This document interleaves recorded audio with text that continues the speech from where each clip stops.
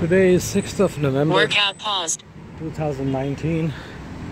The time is Workout resumed. approximately 5 p.m.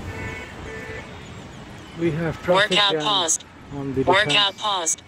Avenue. The Sama Bridge is closed due to traffic.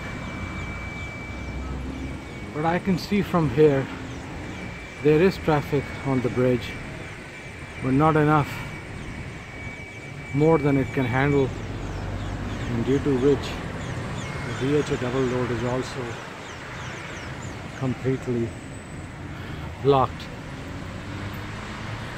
jammed precisely, and from both ways.